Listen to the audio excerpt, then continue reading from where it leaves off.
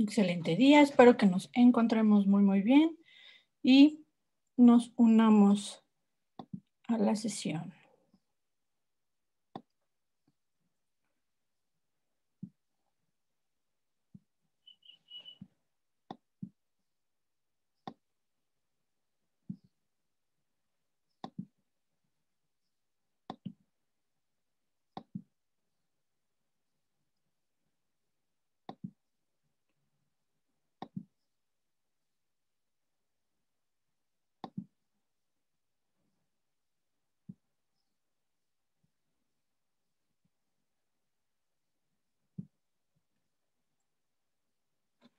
Buen día, buen día, ¿cómo estamos? Hola doctora, buenos días. Hola, hola, ¿cómo estamos? Bien, doctora, ¿y usted? Bien, muchas gracias. ¿Qué tal los días de descanso? Sí, la verdad fueron muy, muy productivos. Estuvieron, yo creo que muy ad hoc el tiempo, ¿no? Sí, sí, sí, siempre se necesita darnos el, el ratito de realmente este, dejar las cosas de trabajo un, poquito, aunque nos dediquemos a otras cosas, pero lo de trabajo dejarlo descansar un poquito para que nuestra mente justamente también se, despeje y lleguemos, lleguemos refrescados, porque ya les toca consejo técnico, ¿no? También. Sí, es el 12, a los compañeros que están en grupo les toca ya el lunes. Exacto. digo, ya, ya, es, algunos ya, ya volvimos desde esta semana, los que estamos en, en privadas, estamos en este, ya regresamos desde el lunes 5 a varias de las instituciones y bueno, otros, este, los que están en, en gobierno, digamos, regresan este, este lunes, que es 12, ¿no? Este 12, y también la, si no, me, si no me equivoco, la UAM, ¿no? Sí, sí, la razón. Aunque usted también la vi bien activa, ya la vi que está, este, eh, trabaja, ¿trabaja usted en la ENEF o trabaja con compañeros de la ENEF, de la Normal de Educación Física? Con, compañeros. Ah, sí le, sí le he visto en algunas este, publicaciones de, de Facebook que hacen, o sea que también usted es muy activa para todo eso del trabajo, no paró. pues ahí estamos, eh, bueno, en las redes sociales, lo que, lo que corresponde a las redes sociales, no hay otra cosa más que estar activo, porque si no se te va. De por sí ya, ahora ya muchos este, publican y demás, y si no estás ahí viendo al menos los temas de que te interesan o corresponden, se te van, porque se llena de información de impresionantemente. Sí, entiendo. Pero bueno, lo importante es que ya estamos, ya cargamos batería y este y pues vamos a, continuar. Y hubo un detalle con la eh, conferencia de la sesión anterior fue descuido mío y demás, que la, no estoy completamente segura si, va, si es la misma conferencia o no, pero yo entendí que la conferencia era el, el, sábado pasado, pero la conferencia e, era para nada más para licenciatura, solo para licenciatura. Por eso al inicio, ahí fue donde ya la maestra Brenda me hizo la aclaración. Al inicio la maestra Brenda presentó al ponente y dijo, ah, para licenciatura. Y yo le escribí en privado a la maestra Brenda y le dije, uy, qué feo que discriminas a los de maestría y doctorado. Y me dijo, no, no los discrimino, pues ahorita nada más dentro licenciatura. Y yo, no, yo estoy con mi grupo en la conferencia que pasa ahí y me dice, no, me dice, a ver, vamos a checar cuál fue el, el póster o el flyer que te mandé. Y sí, ahí dice 17 de abril.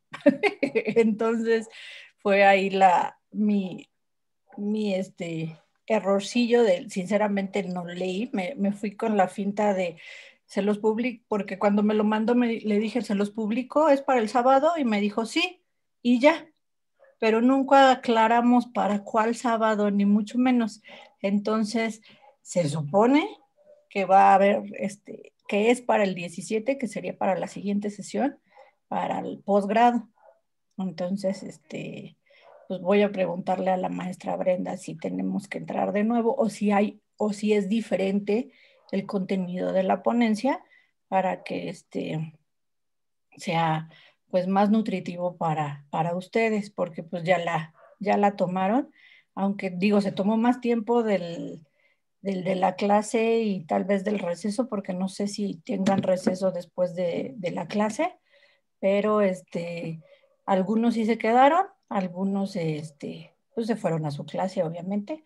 Yo estuve ahí todo, todo, todo el rato hasta donde comenzaba mi siguiente sesión, pero este, bueno, les, les comento ahí este, este pequeño gran detalle de este, esta, este resbaloncillo o resbalonzote que me di por no leer, sinceramente no, no leí el, la publicación, simplemente lo compartí y listo.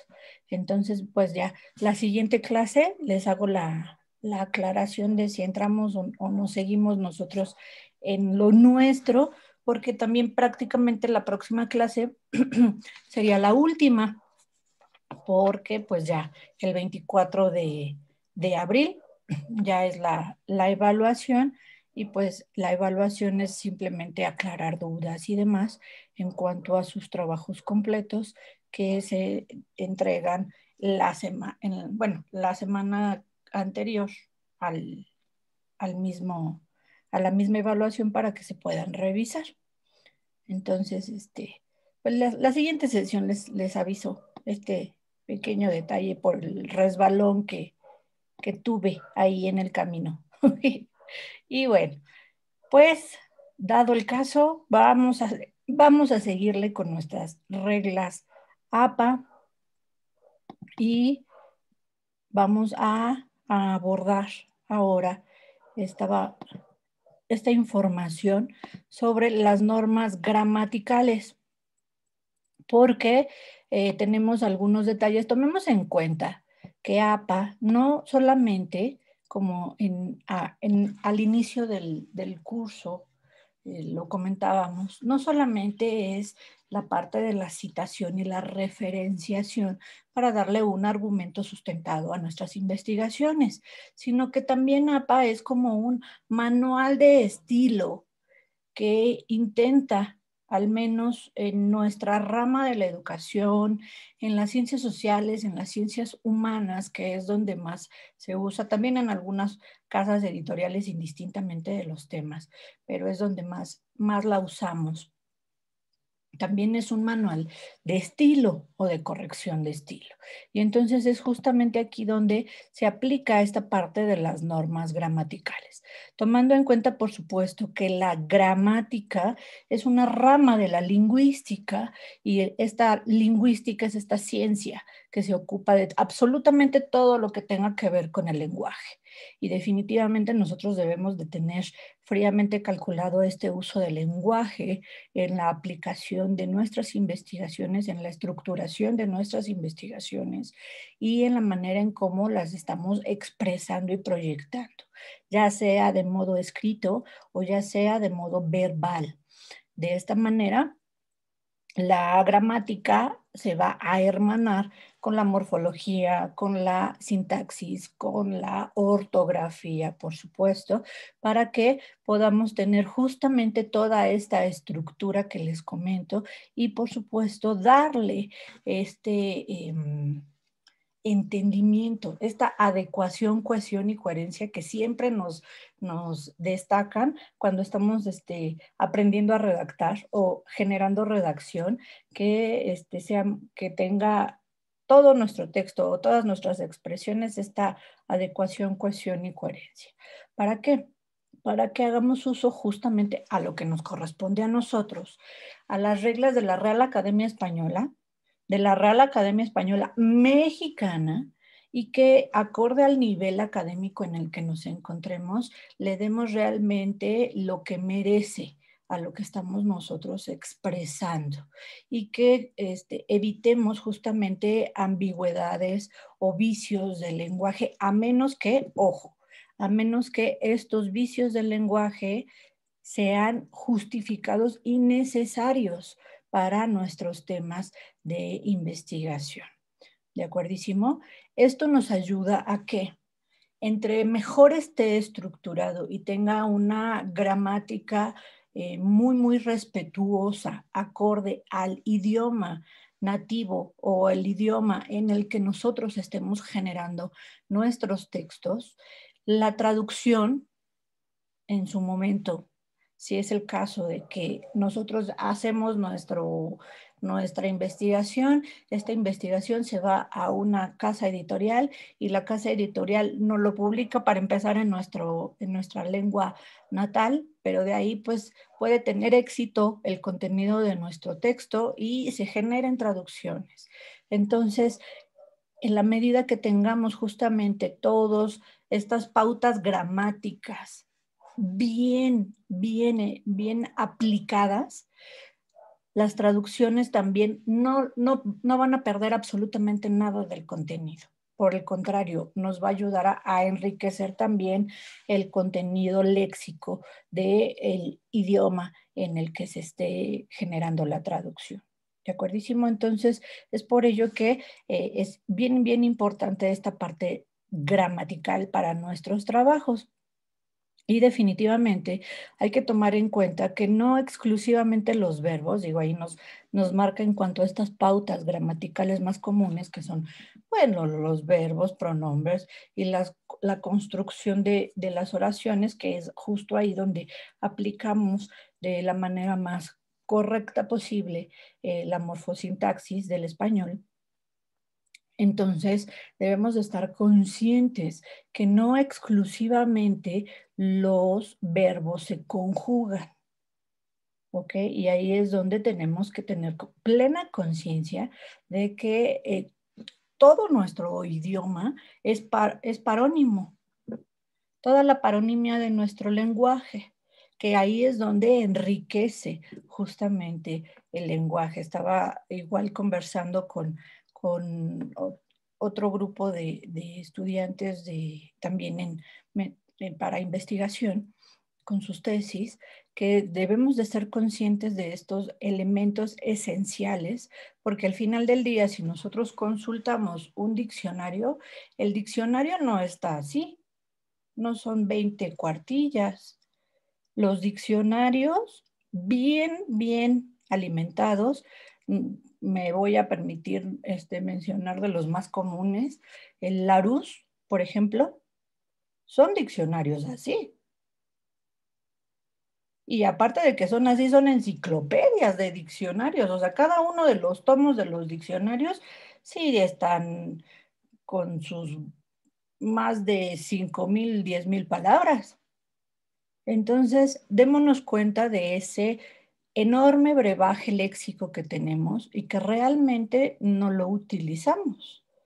En una realidad, en diferentes estudios que se han hecho a nivel mundial, eh, comentan que eh, realmente del, en el español, nosotros particularmente en México, de las millones de palabras que no, ni siquiera tenemos conciencia de cuántas palabras hay en nuestro, en nuestro idioma, pero que de estas millones de palabras que utilizamos, realmente utilizamos solo el 30%.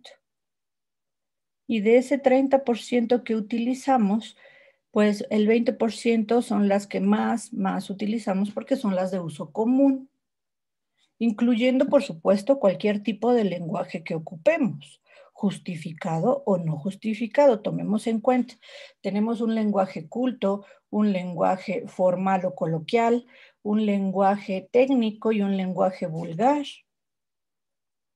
Dependiendo de, y todo esto es contextual, por supuesto, dependiendo de dónde o con quién nos encontremos, nos damos estos permisos de utilizar el lenguaje. Yo les hago la, este, eh, el ejemplo de, ay, me vale, mm", ¿no? Y esa es una expresión que, que utilizamos muy comúnmente. Muy, muy comúnmente. Y si yo lo digo completo, así tal cual me vale madre, ocupo cada una de las palabras correctamente porque me no es grosería, vale no es grosería, madre no es grosería. Junto genera la palabra, bueno, la frase, mejor dicho, la expresión altisonante. Y más allá de ello, más allá de ello, en la denotación y connotación que yo le dé a la expresión, ahí ya nos llevamos de calle, ¿no? Ya, ya, ahí ya decimos, y la mis bien vulgarzota en clase, ¿cómo se atreve? ¿Cierto? Pero justamente aquí es donde me permito hacer este tipo de ejemplos para que seamos conscientes Definitivamente para algunas investigaciones es necesario generar este tipo de expresiones. Ejemplo, si hay alguna este, investigación que sea psicopedagógica o de elementos psicoemocionales de los alumnos en la interacción que se tiene en el aula para ver cómo se expresan entre ellos o cómo cuando se molestan o hay situaciones eh, de tipos descontroladas se llegan a expresar con los profesores, etcétera, puede haber este tipo de expresiones y entonces esto se tiene que citar. Ojo, ahí está la justificación. Se tiene que citar dentro de la investigación en la medida que sea necesario y justificado. ¿De acuerdo? Entonces, no hay que limitarnos en nuestro lenguaje, porque a veces le damos tres vueltas o cuatro o, muchas vueltas para poder eh, colocar dentro de nuestras investigaciones este tipo de expresiones. ¿Por qué? Porque decimos, no, pues va a demeritar mi trabajo. No, no demerita nuestro trabajo siempre y cuando esté bien estructurado en este sentido de redacción y gramática, lo que nosotros estemos trabajando. ¿De acuerdísimo? Entonces, justamente ahí es donde, eh, en una generalidad, sabemos que hay muchísimas reglas, muchísimas reglas ortográficas y gramaticales dentro de la lingüística del español mexicano, pero las que eh, APA maneja de una manera eh, muy, muy general, intentando justo este punto de la estandarización, son estos ocho bueno, de hecho son siete y el, octavo es, va muy de la mano con lo que la institución UNIEM nos solicita para las investigaciones. Entonces, Vamos a ver cada uno de ellos en, eh, abordando el antropomorfismo, eh, las comparaciones lógicas, los tiempos verbales, las voces pasivas y activas, que no solo son en inglés, son en absolutamente todos los idiomas, se ocupa la voz pasiva y voz activa, los pronombres en primera persona, eh, los, cuando hablamos de nosotros o tercera persona, ¿ok? Y, si habla, y de qué manera es lo correcto para redactar en una investigación. Y cuando utilizamos el nosotros, a veces nos cuesta este, bastante trabajo aterrizar estas, estas ideas, cuando lo ideal es lo recomendado, tanto editorialmente como para APA, es lo recomendado que se haga neutral, lo más neutral posible, pero vamos abordando cada uno de ellos.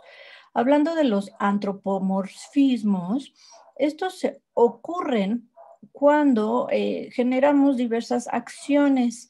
Entonces, aquí vemos algunos ejemplos en el, en el esquemita, en el uso correcto de la expresión, en el uso incorrecto de la expresión y bueno, un ejemplo de cómo estaría este, justificado o redactado dentro de sus, este, de los textos. ¿No? Si es el caso.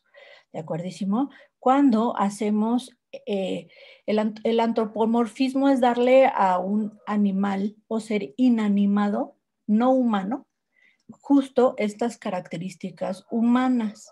Es la humanización de los animales o personificación de los animales o de los seres inanimados. Entonces, aquí vemos, los pares de las ratas vivían en el mismo recinto y entonces ahí dices, ¿qué onda con esta frase?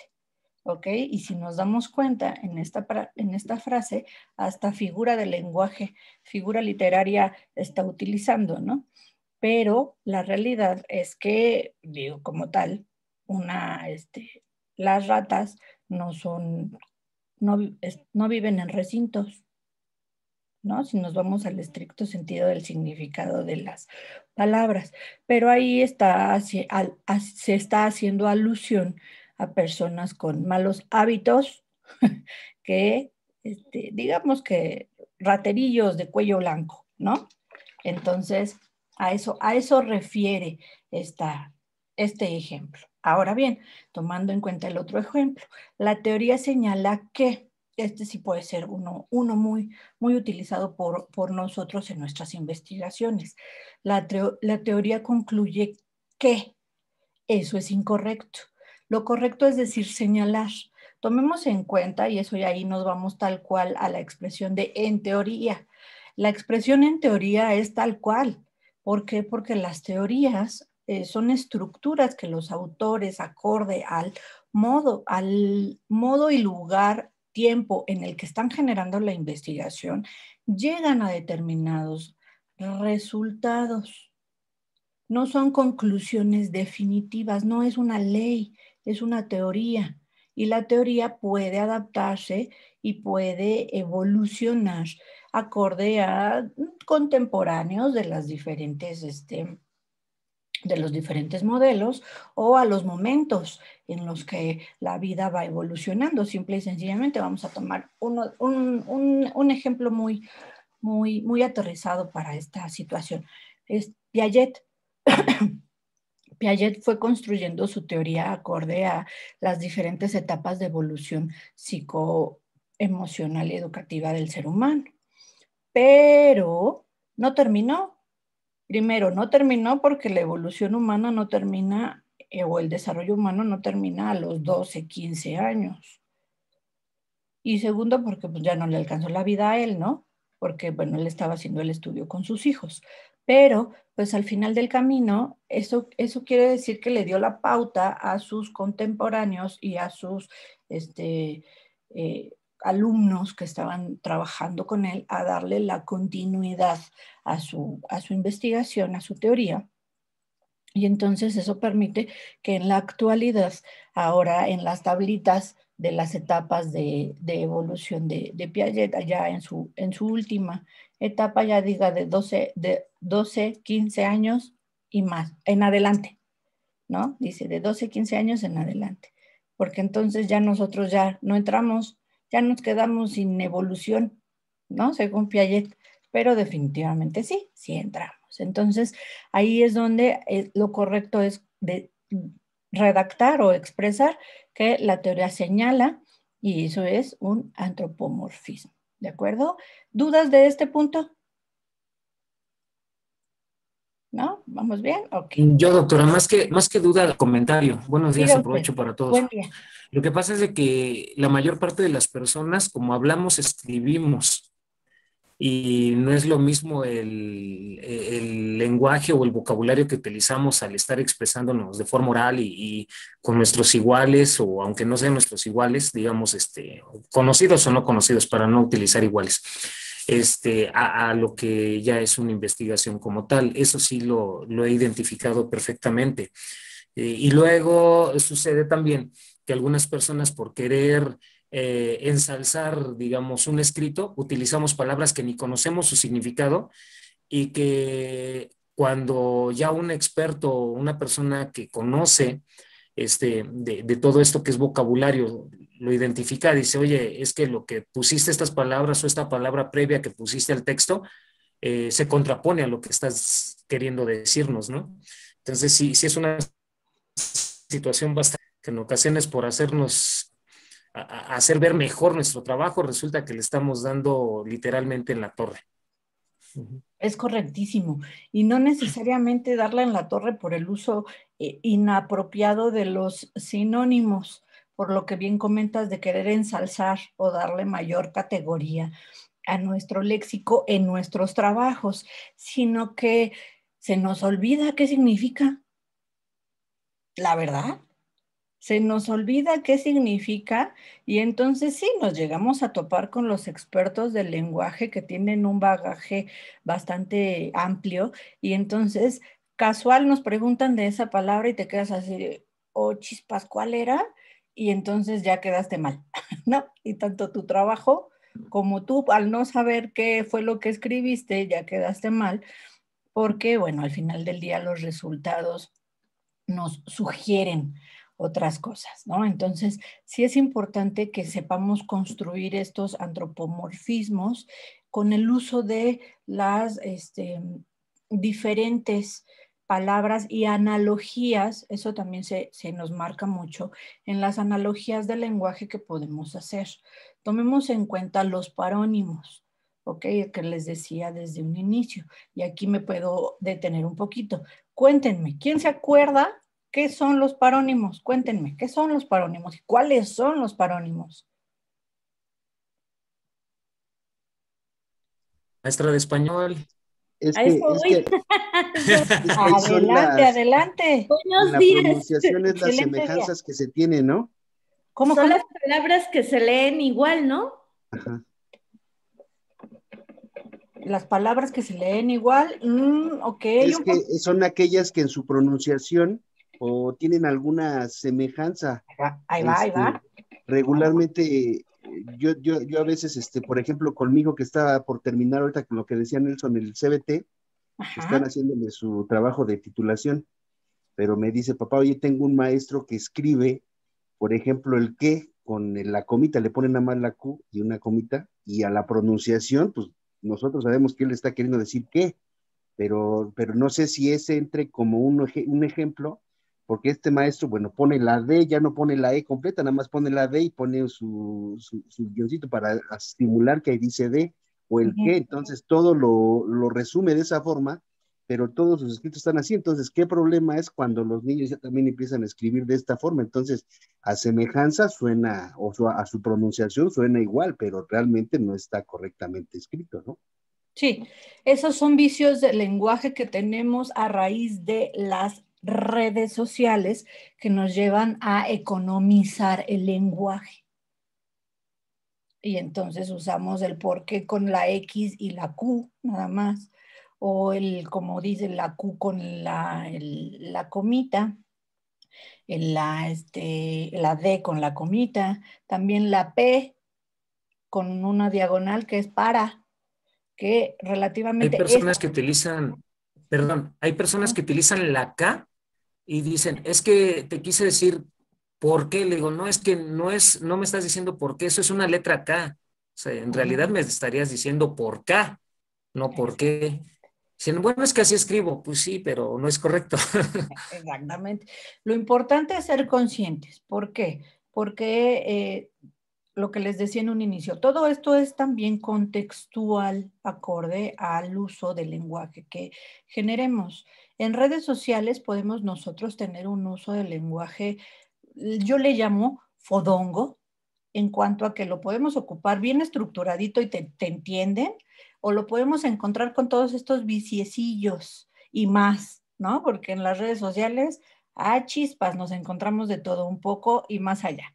Entonces, y sigue, ¿no? Y sigue creciendo todas estas jergas y calos de las redes sociales, pero es importante que para nuestras investigaciones tengamos conciencia de la paronimia como tal, porque lingüísticamente hablando, la paronimia nos da un nivel morfológico y morfosintáctico y semántico, léxico semántico general. ¿Ok? Por eso les decía ahorita que nos dijeron, pues son las palabras que tienen semejanza. Sí, sí, sí, vamos bien por ahí, pero un poquito más grande. ¿ok? Porque también son las palabras que tienen diferencia. Son sinónimos, dentro de la paronimia entran los sinónimos, los antónimos, los homófonos, los homógrafos, las analogías, ¿de acuerdo? Entonces, ¿por qué?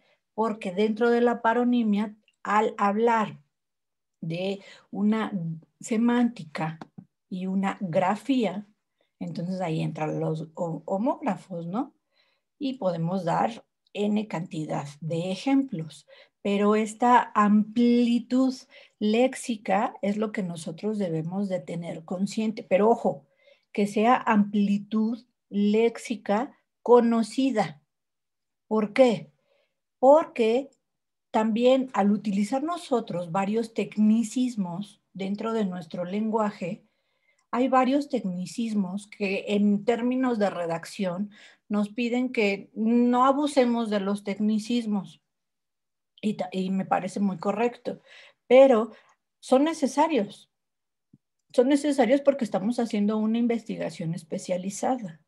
Y entonces aquí es donde podemos aplicar esta parte de los homófonos y homógrafos. A veces, ejemplo, los cuántos sinónimos conocemos para expresar alumno.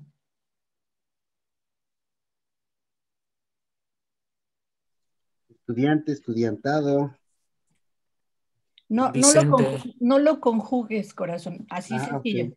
En, Alumno, estudiante, discente, eh, aprendiz. Eh,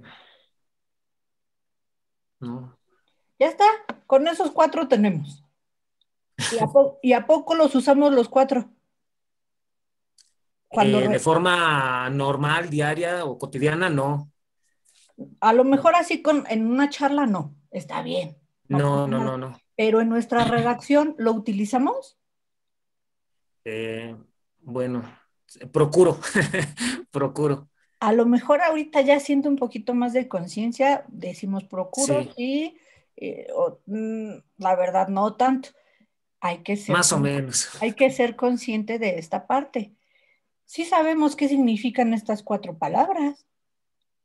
Y es un tecnicismo nuestro, ¿eh? De nuestra ciencia, de la educación, ¿cierto? Y entonces también es importante hacer uso de esta, de esta paronimia. Ahora, le decía a Juan Carlos, no lo conjugues todavía. Primero vamos a encontrar cuáles son y de estos cuáles son ya podemos conjugarlos en femenino, masculino, plural, singular y también en diferentes este, adecuaciones neutrales que hasta nos podemos dar permisos con estos tecnicismos, dependiendo de nuestras investigaciones, de componer o derivar palabras, dependiendo de las necesidades de lo que nosotros estamos expresando.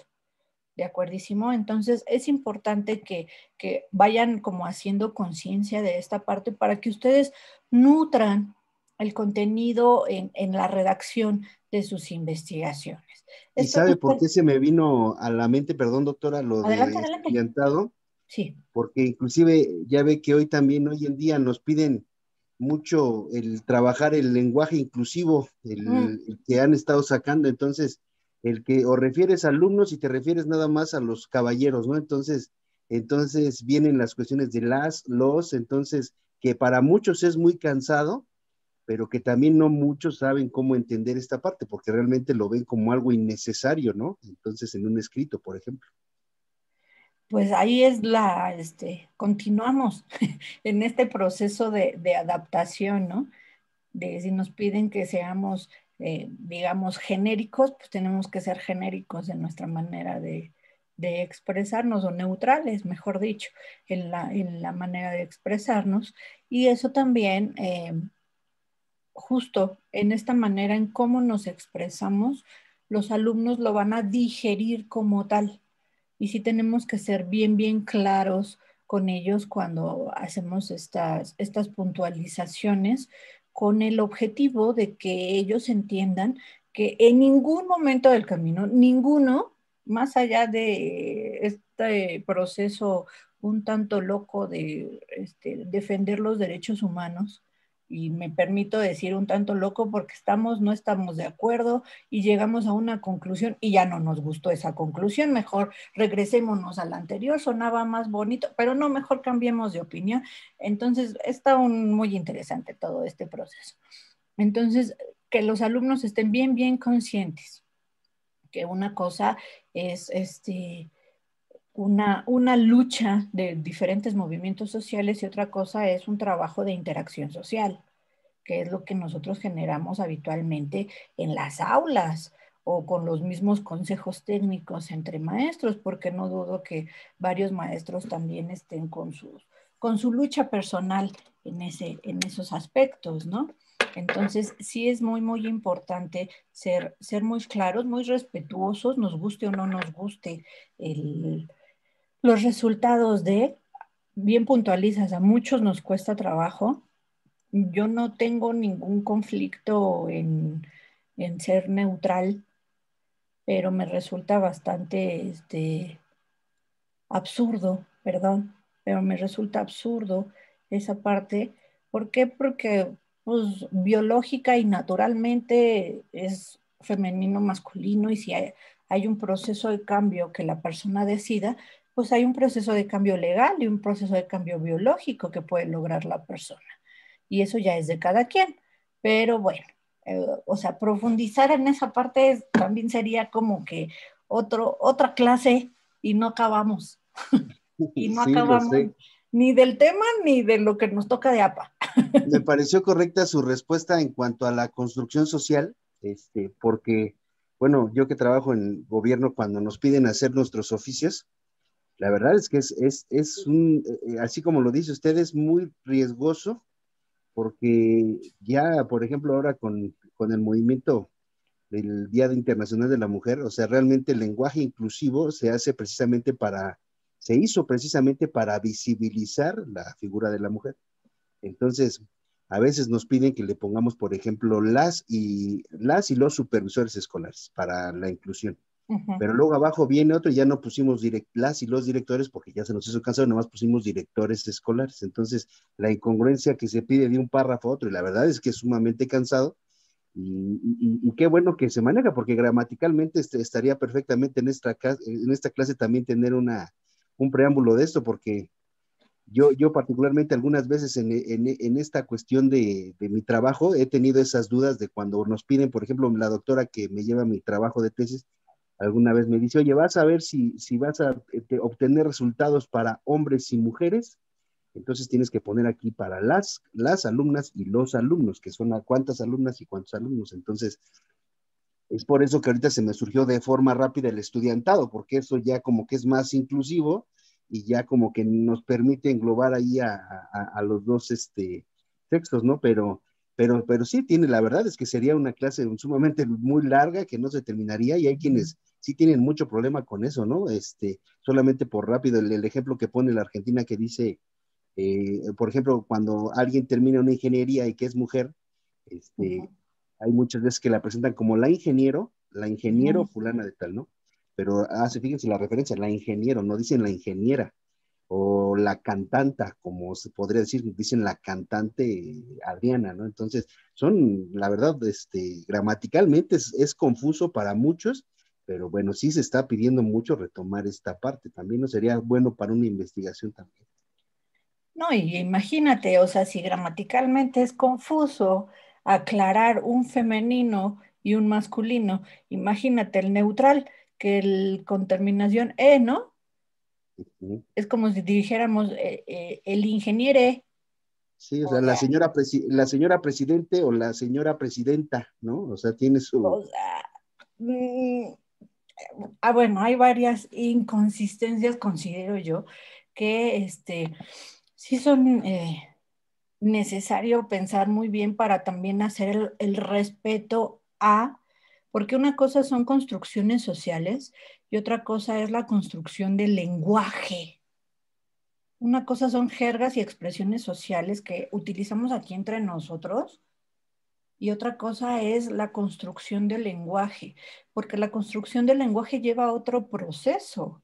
Y si nos vamos a los procesos de la construcción del lenguaje, entonces, pues etimología grecolatina. Y la etimología grecolatina, sorry, pero ahí no discrimina. Ahí te está dando el significado de cada uno de los morfemas acorde al origen del morfema, de la lengua del morfema, que si nos vamos a las lenguas romances, entonces ya es algo mucho más profundo de la lengua, y entonces ahí se nos va para abajo toda esta parte del ingeniere, Bueno, bueno, doctora, mire, eh, hace, hace poco, hace algunas semanas, en algún trabajo que mostraba algún compañero ya en, nuestra oficina para presentar un trabajo, uh bueno, que en estas palabras de modismos, por ejemplo, usted nos habla de, estas lenguas románticas y toda esta parte, pero, por ejemplo, en México, hoy, hoy en día ya empiezan a usar en términos de, de escritos la palabra cruzazulear, que ya en internet, por ejemplo, ya tiene una definición del como el ya merito, ¿no? Del de aquel que no gana algo, ¿no? Entonces, fíjese cómo nos vamos acercando también a estos modismos y que mucha gente realmente lo empieza a utilizar y que ya encuentra definiciones, por ejemplo, en estas redes sociales, ¿no? Pero eh, tomemos en cuenta, por ejemplo, esa, esa parte del, del cruzazulear y del ya merito, son expresiones muy dadas del español mexicano muy, muy locales, muy de México, igual que el cantinflear en su, en su tiempo. Entonces, tú dices, son modismos, porque ya evolucionó a modismo. En su tiempo fue una jerga, un caló, ahora ya es un modismo y la palabra va evolucionando. Y justamente en esta evolución, como en su momento fue el cantinflear, ya la Real Academia Española Mexicana la adoptó, la analizó, la desmenuzó, etcétera, etcétera, y ya está dentro del diccionario. Ya es correcto expresarnos con el cantinflear. A lo mejor el día de mañana será correcto expresarnos con el cruzazulear referente a, en su origen, con situaciones del grupo que es, de los eh, afectos Continuamos.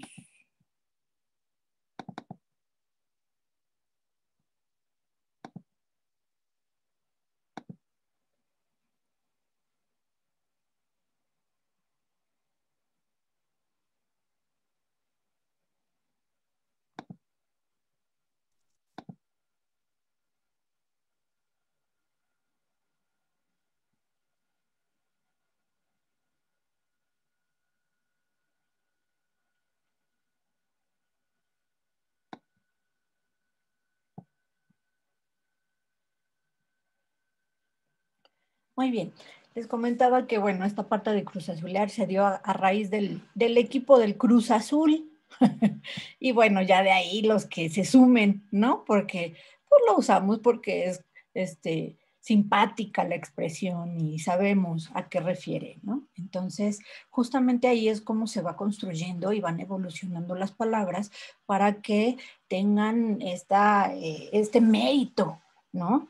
En el, mismo uso de las palabras, nosotros mismos como sociedad les damos el mérito para que llamen la atención de, los, estas, de estas personas muy sapientes de la lengua que están dentro de la Real Academia Española Mexicana y entonces ya no, la analicen y la puedan incluir en, el, en nuestro diccionario al menos.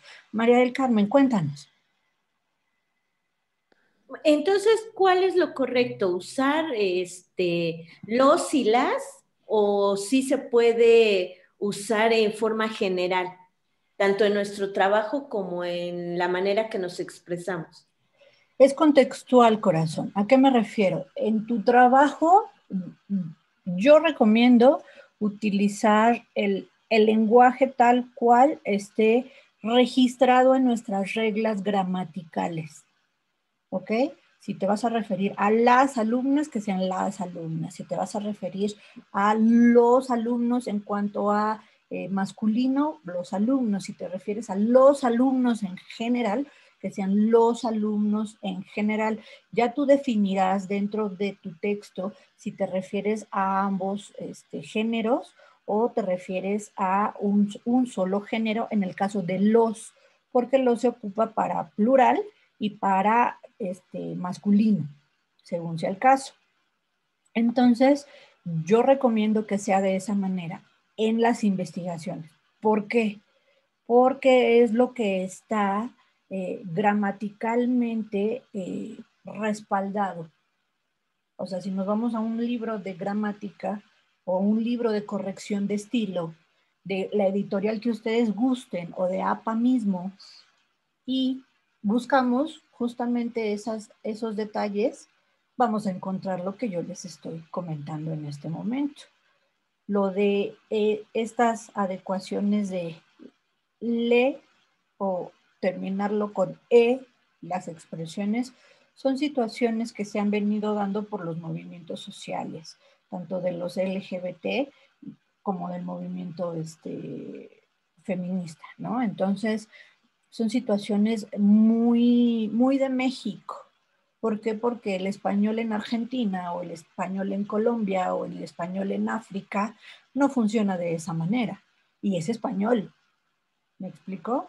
Entonces, eh, yo considero que lo, lo, correcto es utilizar lo que está en la Real Academia como tal, porque al final del día es lo que nos respalda como nuestras reglas gramaticales del uso y el, el ABC de cómo expresarnos, tanto verbal como este, escrito en nuestro idioma.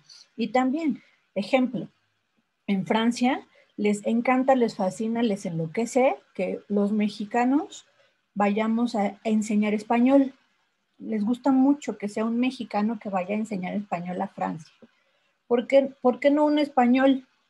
Porque tienen muchos este, adecuaciones y modismos que son muy regionales de sus zonas y hacen una mezcla del lenguaje bastante interesante. Entonces es confuso la manera en cómo lo, lo enseñan en España para, para, para, en términos de los franceses y también pues tienden a ser muy, la manera en cómo lo expresan, lo expresan muy, muy fuerte, ¿no? Entonces le suena como grosero o agresivo a ellos. Es, esa es su, su justificación. Y en cambio nosotros los mexicanos o los latinos, digámoslo así, pues en el momento que estamos enseñando el idioma, procuramos hacerlo lo más formal posible, lo más, más formal posible, tomando en cuenta que existen muchísimas reglas gramaticales que en honor a la verdad ni nosotros mismos nos acordamos de todas. A veces hasta si les pregunto, díganme las reglas de acentuación, ahorita de volada, híjole, a lo mejor y nos agarran mal parados. Brújulas. Ahí está, ahí está, ¿no? Y luego, a lo mejor se las digo así rapidísimo, decímelas, decímelas, no, no, de agudas, llanas, graves, esdrújulas o desdrújulas. Listo, lo pasé. Ah, ok, padrísimo, ya me las dijiste. ¿De qué se trata cada una? Híjole, ahí está el detalle, ¿no? Las agudas todas menos las que terminan en NS o vocal. Las eh, graves Ajá. Eh, es, son todas las que terminan en NS o vocal. Esdrújulas y sobresdrújulas todas. Exactamente, y ya en ese orden es última, penúltima, antepenúltima o compuestas y sílaba tónica. Exactamente. Y entonces, a veces nosotros mismos, en el uso de nuestra propia lengua, no sabemos nos agarran mal parados, ¿no? Y no sabemos qué onda con nuestras reglas ortográficas o gramaticales. Y luego aparte, pues somos una cosa muy, muy internacionales y queremos aprender otros idiomas y que nos enseñen francés o que nos enseñen portugués. Chispas, ellos ocupan dos acentos o más. Y entonces ahí nos hacemos bolas. Pero bueno, no entremos en tanto, en tanto detalle de estos, este, de estos puntos, al final del día, eh, bueno, nosotros en nuestro ámbito educativo, para efectos de situaciones tanto gubernamentales como la parte administrativa en cómo tenemos que expresarnos, eh, yo les recomiendo que siempre, aunque resulte de que eh, otra vez nos están preguntando lo mismo, no importa, pregunten, pregunten, pregunten siempre cuál es la manera correcta de o cómo quieren ellos que ustedes expresen las cosas para evitarse cualquier situación este, innecesaria e incómoda. Pregunten ustedes si necesitan el, la, los o el la. Mejor preguntar y pues ya, si, nos dicen que sí hay que agregarlo, pues ya tendremos que hacer el siguiente escaneo de la, del documento que estemos realizando para hacer esa adecuación, pero pues bueno, finalmente hay que ver este, en qué queda toda esta situación, que todavía no termina, todavía no está al 100% establecido, solamente se, eh, digamos que se tomó esa decisión para apaciguar las aguas, porque estaba muy, muy este, en boga la, inconformidad social, ¿no? Pero ya, este, pregunten, siempre pregunten y para efectos de la investigación sigamos las reglas de la Real Academia Española y con eso es más que suficiente para nosotros. ¿De acuerdísimo? Ok, gracias. Gracias a ti, Coral. Tenemos continuidad. Las comparaciones, chicos. Las comparaciones es uno de estos elementos que nosotros eh, utilizamos bastante la realidad. Utilizamos bastante en nuestras investigaciones. Entonces, dentro de lo que se nos sugiere en APA para las comparaciones es que debemos de ser lo más claro y lógicos posibles, acorde a una escritura académica. ¿De acuerdísimo? ¿Por? Porque eso nos va a permitir eh, que se vea reflejado que realmente lo hicimos nosotros nos decía Nelson hace ratito, es que este, muchos escribimos como, como hablamos o como pensamos. Y así debe de ser, está bien. Pero una cosa es que comiences tu redacción, por eso existen los diferentes este, borradores que llegamos a tener de nuestros trabajos. Generas tu redacción y luego le das otra, otra lectura. En la primera toda la lluvia de ideas, como vengan las ideas, ahora, porque se nos corta la inspiración, como vengan las ideas. Y ya en la siguiente lectura que le damos o reestructura que le damos al texto, entonces ahí ya vamos a ser conscientes de lo que estamos nosotros expresando. Y justamente aquí es donde se aplica esta claridad o logicidad de la, de la escritura académica. ¿Para qué? para que podamos utilizar conectores, para que podamos utilizar sinónimos, antónimos, este, homógrafos, etcétera, y que nos permitan realmente darle el sentido adecuado a lo que nosotros estamos expresando. Ojo, aquí hay que tener cuidado. ¿Por qué? Porque para escribir oraciones eh, que pueden tener homógrafos, ojo, hay que ver cómo lo estamos nosotros realmente colocando en nuestra oración, nosotros, ¿eh? Cómo lo estamos nosotros colocando en nuestra oración y cómo lo estamos conjugando. ¿Por qué? Porque el corrector de Word no nos lo va a marcar, ni muchas veces ni la ortografía ni la parte sintáctica o gramatical no la marca. Entonces, es importante que tomemos en cuenta estos detalles. ¿De acuerdísimo?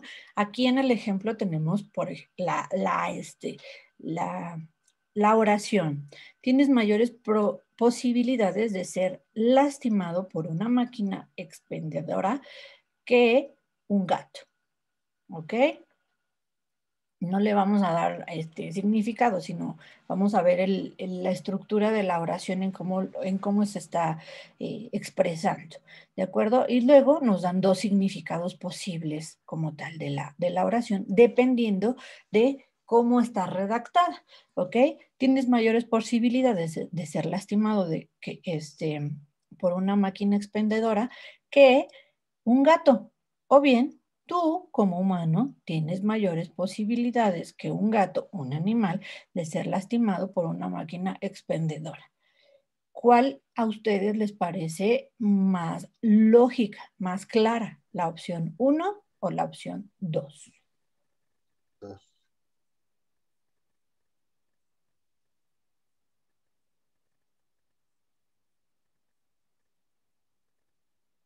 A mí la 2 es porque nos da más claridad, ¿no? Nos da los, este, las acotaciones de, pues eres un humano y es un, eh, es un animal y nos, nos aporta esta parte también de aclararnos que refiere al, al animal como tal, ¿cierto?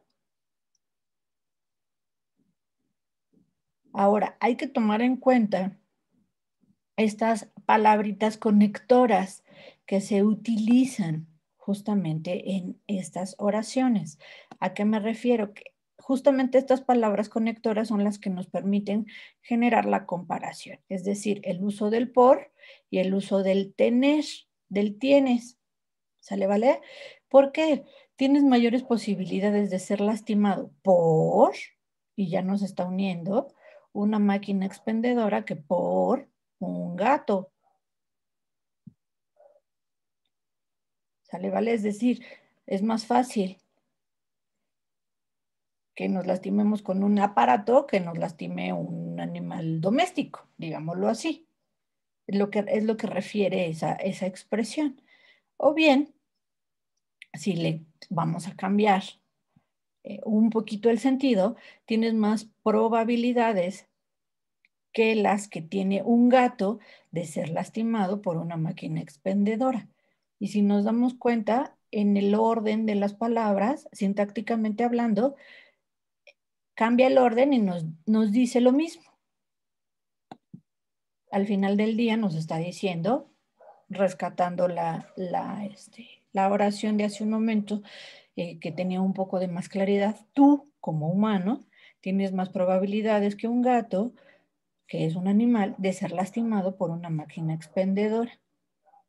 ¿De acuerdísimo? Entonces, ¿A qué vamos con esta parte de la comparación? Que hagamos uso de conectores.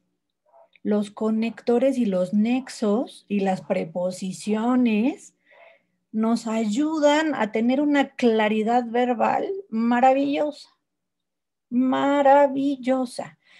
Cuéntenme, ¿quién se acuerda o se sabe todas las preposiciones? Que no sea Mari Carmen, no vale, porque es la Miss de español. A ver, compañeros, digan, digan, acuérdense. Adriana, Eugenia, Juan Carlos, Norma, Sofía. A ver, ¿quién se acuerda?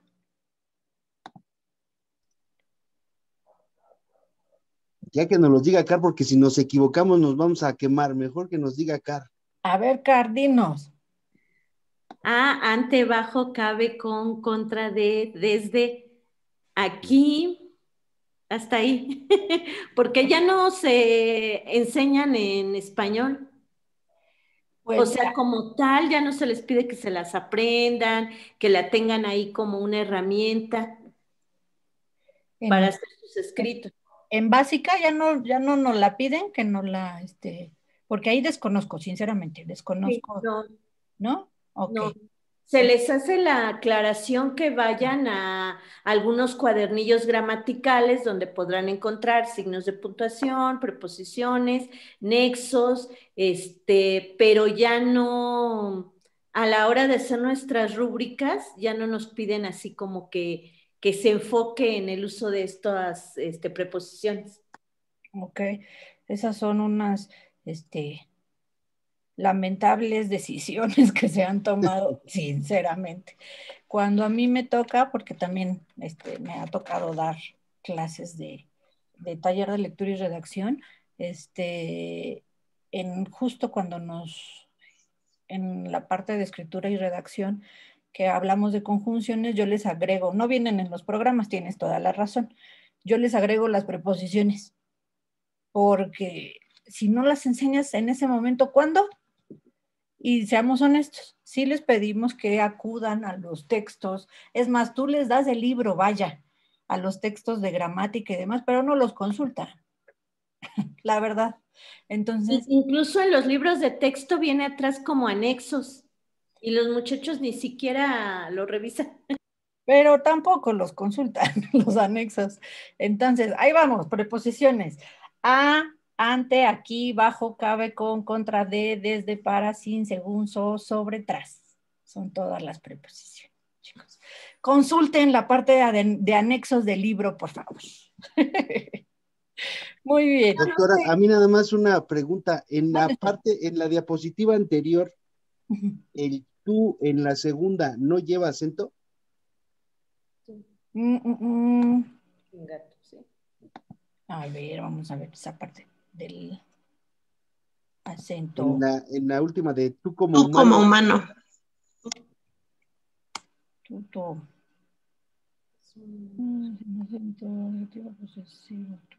Sí, tienes toda la razón. Es correctísimo. Tú muy bien. Tienes un décimo. Ah, muchas gracias. muy bien, muy bien. A ver, vamos a, a corregirlo de una vez aquí. Se la ponemos. Texto. Supongo que posteriormente vamos a ver también los signos de puntuación.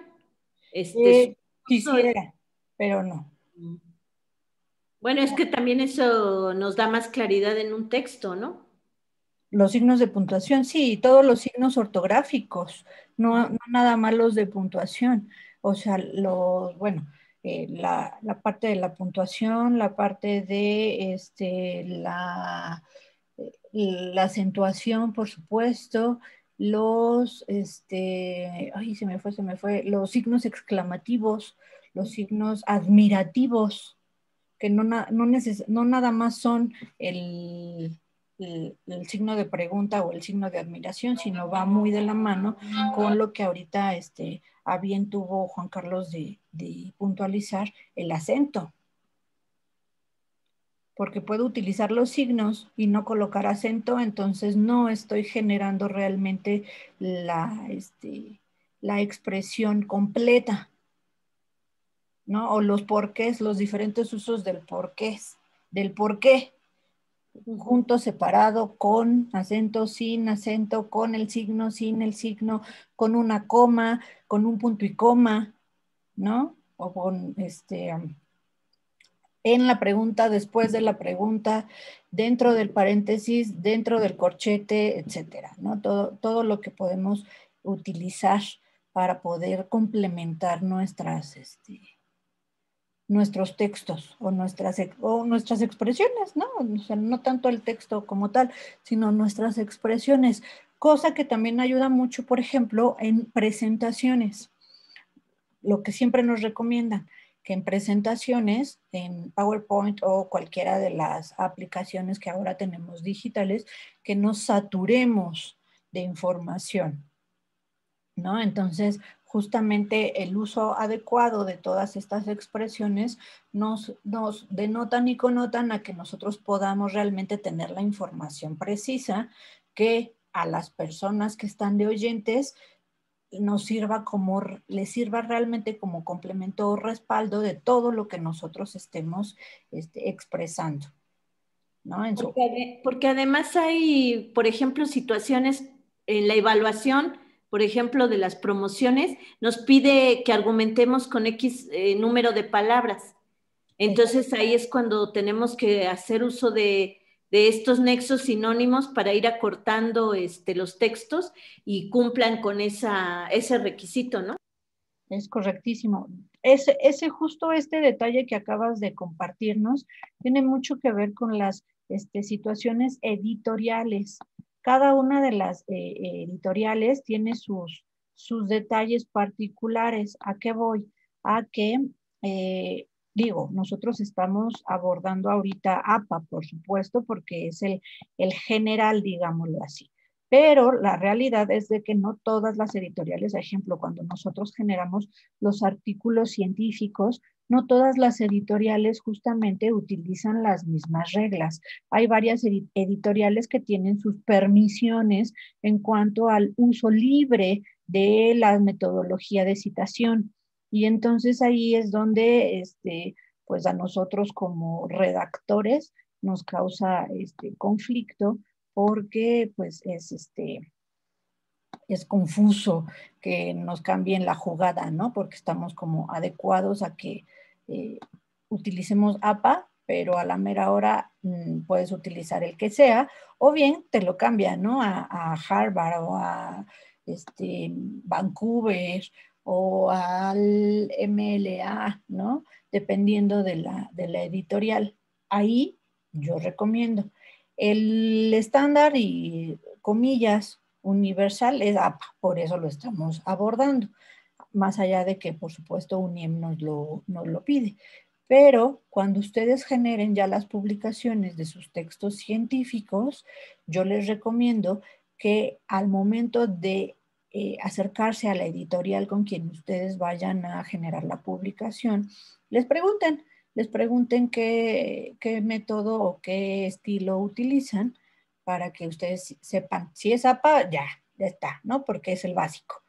Pero si, tienen alguna otra adecuación, de una vez lo sepan y que cuando les hagan su respectiva revisión de, no haya mayor problema en cuanto a que se los vayan a regresar. Porque cuando las editoriales nos reciben nuestros, nuestros artículos o nuestros textos, definitivamente pasan por la corrección de estilo y entonces, o corrección editorial, y entonces pasan por diferentes facetas. La primer faceta que pasan es justamente la metodología y entonces ahí es donde revisan que sea compatible acorde a sus lineamientos. Es decir, si ellos utilizan APA, pues ya está si ellos utilizan alguna de las otras metodologías que les comenté, pues entonces se van a basar eh, o les van a hacer observaciones referentes a. Entonces, por ello, les, les hago la, la aclaración de que les recomiendo que pregunten antes de que les reciban sus respectivos, que pregunten justamente cómo, cuál es la que ellos utilizan, para evitarse que se los regresen por, por eso y que ya pase, pase directo, ¿no? Ya la, la publicación como tal, ¿sale? Entonces ya está, ya le puse el acento, Juan Carlos. ya quedó. No, estuvo, estuvo muy bien, muy bien, muchas gracias. Ok, listo. Ahora vámonos a los tiempos verbales. Híjole, los tiempos verbales son coco para muchos de nosotros. ¿Por qué? Porque, pues yo me acuerdo en mis, en mis ayeres que sí nos los enseñaron pero pues nada más nos los enseñaron una vez en la primaria o una vez nos lo, nos lo confirmaron en la secundaria y hasta ahí quedó y ya no los volvió a ocupar, ni en español de la prepa, porque ahí sí no me lo, no me lo volvieron a pedir, según lo recuerdo, y en la, en la licenciatura, pues menos, ya nos abocamos a otras cosas. Pero cuando generamos justamente nuestras investigaciones, es bueno, es importante que tengamos conocimiento de esta parte, también para poder acentuar y para poder darle un sentido adecuado a nuestras investigaciones. ¿Por qué? Cuando estamos nosotros generando el proyecto, es decir, el protocolo, se utiliza en futuro. El lenguaje que nosotros debemos utilizar es en futuro generalmente, cuando estamos presentando el proyecto cuando ya se aplica el proyecto, cuando ya se genera la tesis, se utiliza el pasado y también se utiliza el pretérito, como lo vemos ahorita en la, en la pantalla, se utiliza el pretérito, pero también se utiliza en algunas cosas presente del verbo, no de que coloquemos los pronombres personales del verbo como tal se utiliza en presente por las acciones que se llevan a cabo en los grupos de estudiantes o en las aulas. Yo puedo decir que en las aulas se llevan a cabo diferentes estudios acerca de las emociones de los alumnos. Eso lo estoy, lo estoy afirmando en presente. Impersonal, ¿eh? Pero lo estoy afirmando en presente en mi investigación. ¿Me explico? O puedo decir, se llevó a cabo una, una, una dinámica para determinar cuáles son las emociones de los alumnos a través de o como resultado de la educación a distancia. ¿Ok? Pero yo ya lo dije en pasado. ¿Por qué? Porque es parte de mi investigación. Yo ya apliqué las técnicas o los instrumentos de recabación de datos para saber cuáles son estas emociones de los alumnos. Y eso me permite a su vez generar esta eh, relación o esta conjugación verbal dependiendo de las necesidades que nosotros tengamos en las investigaciones. Es importante que recordemos esta parte y que tengamos presente, valga la, redundancia en los términos, cuáles son los tiempos verbales que debemos utilizar en nuestras investigaciones, que son en la eh, presentación del proyecto es futuro. ¿Por qué? Porque estamos dando a conocer algo que vamos a realizar, que estamos proponiendo realizar. ¿Ok? Es futuro y pasado en ese, en ese proyecto. Y ya en la tesis como tal es presente, pasado y pretérito. ¿Ok? Por las diferentes acciones que llevamos a cabo dentro de la misma investigación o que se llevaron a cabo dentro de la misma investigación. ¿De acuerdísimo? Para que eh, se establezca la teoría, para que se le dé un sustento a la hipótesis y para que se haga el análisis de resultados. ¿de acuerdo? Porque ahí es donde a veces nos atoramos. Digo, todo lo tenemos muy claro porque sabemos bien qué teoría elegimos, de qué se trata esta teoría, cómo la aplicamos acorde a nuestros instrumentos. Y una vez que ya tenemos estos resultados, una vez aplicados nuestros instrumentos, entonces es cuando nos cuesta un poquito bastante trabajo porque no sabemos cómo completar esta expresión de nuestros resultados realmente. Si es en el pasado cuando lo apliqué, pero es en el presente que está sucediendo, porque continúa sucediendo esa situación en el grupo. ¿Ok? Entonces, ahí lo adecuado, si no encontramos este pasado presente, lo adecuado es eh, aplicar el pretérito, porque digamos que sería una parte neutral.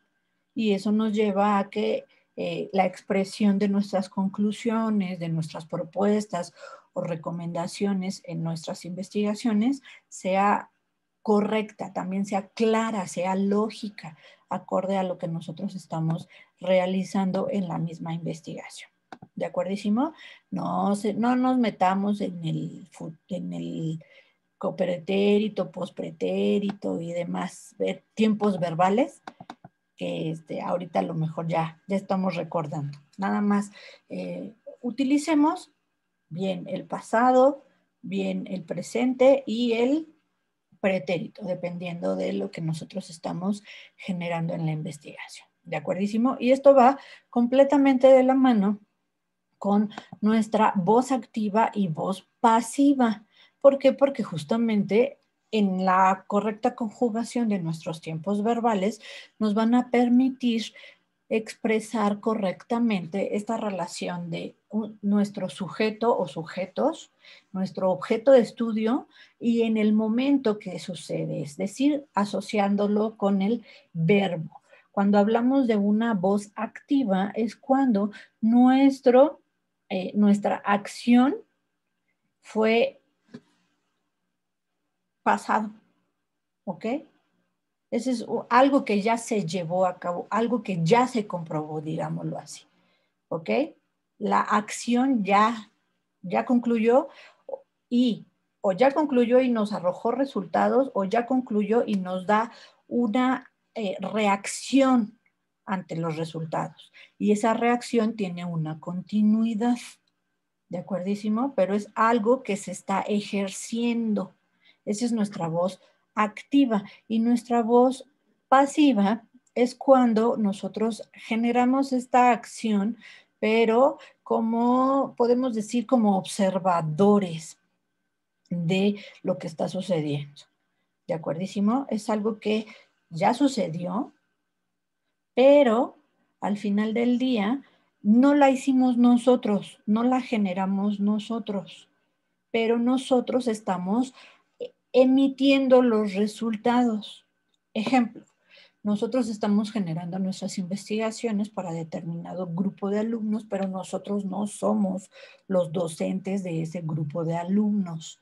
Entonces, nosotros vamos a expresar la investigación en voz pasiva en el aspecto que si existe la problemática, si existe el fenómeno de estudio, si yo lo observé, y sí se va a aplicar en el grupo en el que yo no tengo una interacción directa, pero yo observo las cosas.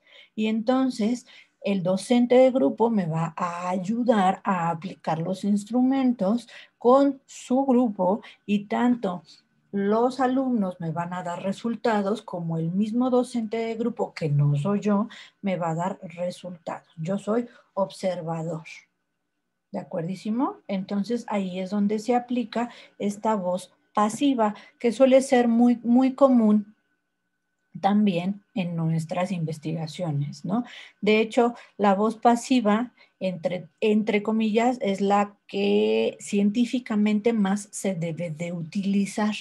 ¿Por qué? Porque se supone que nosotros debemos de ser completamente objetivos, que completamente eh, siempre ha estado entredicho, hasta Sampieri lo ha dicho en sus cantidad de conferencias, Humberto Eco y muchos investigadores siempre han dicho, somos lo más objetivo posible, pero el 100% de la objetividad está bastante este, complicada porque siempre va a haber algo que nos guste o nos disguste y lo expresamos, ¿no? Entonces ahí es donde dice un el punto 5 de errorcillo de esta objetividad.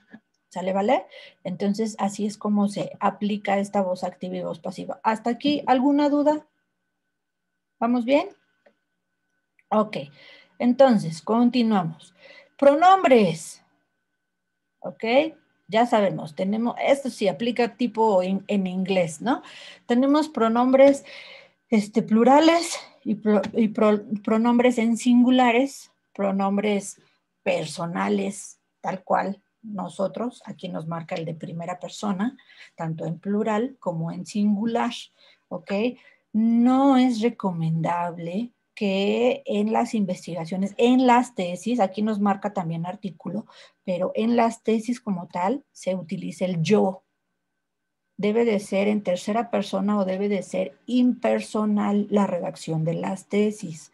Cuando son artículos, sí nos podemos dar el permiso de eh, utilizar el yo, pero eh, hay que ser muy cautelosos en este uso del yo en la medida que el yo sea inclusivo.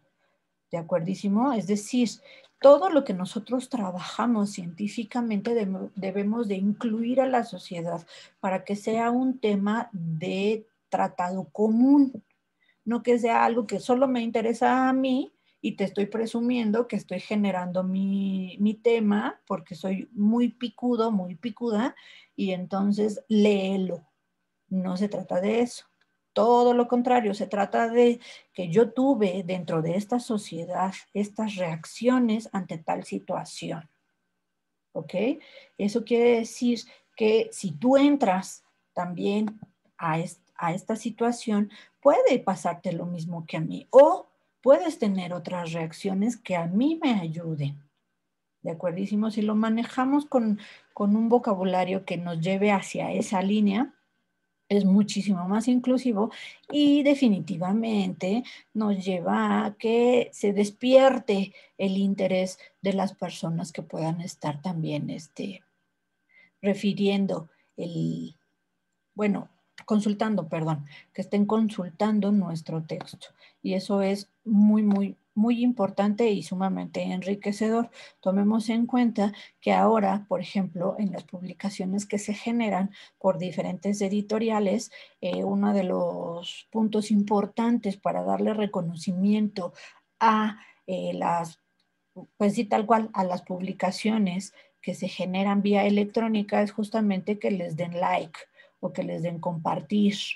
Y eso, si no utilizamos un lenguaje incluyente, pues no, aunque lo lean, no le dan el like ni el compartir. Y a veces es lo que necesitamos. Hay que, hay que tener este, cautela en esta parte. ¿Sale, vale? Ahora bien, otro de los elementos es cuando nos referimos a nosotros y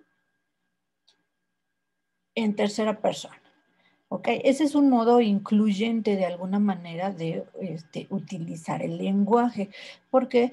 Porque eh, hablamos como si nosotros nos estuviéramos viendo desde afuera y el vernos desde afuera nos da esta hermandad con las otras personas. Entonces, tenemos ahí la parte este, incorrecta de el autor eh, exploró tratamientos para la ansiedad social Y lo correcto en refiriéndonos a nosotros mismos es exploré tratamientos para la ansiedad social. Ahora, si realmente no nos estamos refiriendo a nosotros mismos y nos estamos refiriendo a un autor particularmente, podemos decir en lugar de el autor exploró, podemos decir, este, no sé, Vygotsky, Auswell exploraron o exploró tratamientos para la ansiedad social y entonces ya se, se complementa con la cita y tiene mucho más sustento, mucho más argumentación y hace mucho más sentido para la persona que esté, esté leyendo, porque si lo dejamos del autor sin mencionar alguna bibliografía o algo así, dicen, pero ¿cuál? El autor, pero ¿cuál? ¿No? Entonces es mejor ser muy claros en esa parte.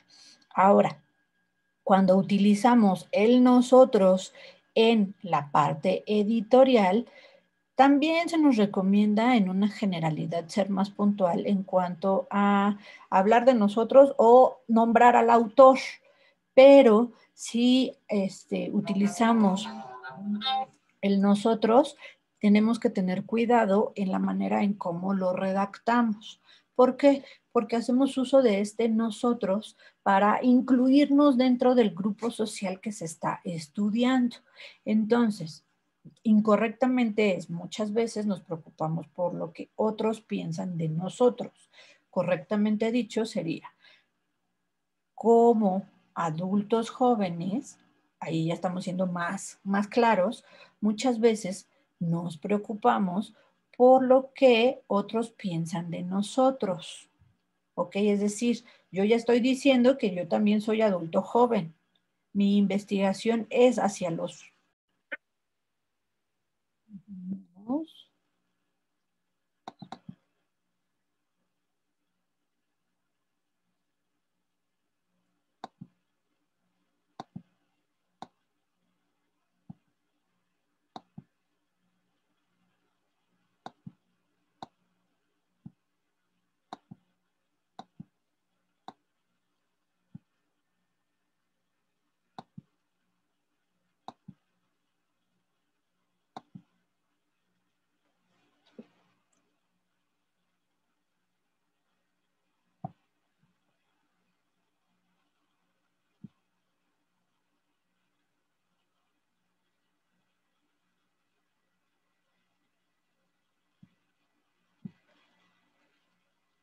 es importante saber cómo utilizamos el nosotros porque nos referimos a otras personas, pero incluyéndonos a nosotros, a, uno particularmente, ¿no? A nosotros como autores. O si nos estamos refiriendo nada más a las otras personas y por formalidad nos estamos incluyendo ahí en, el, en la situación. Ojo, cuando usamos primera persona para definir nuestras propias acciones, lo podemos utilizar tal cual el verbo conjugado sin utilizar el pronombre yo. ¿Ok? Y eso es también una manera gentil de utilizarla sin hacerlo como nuestra egotec.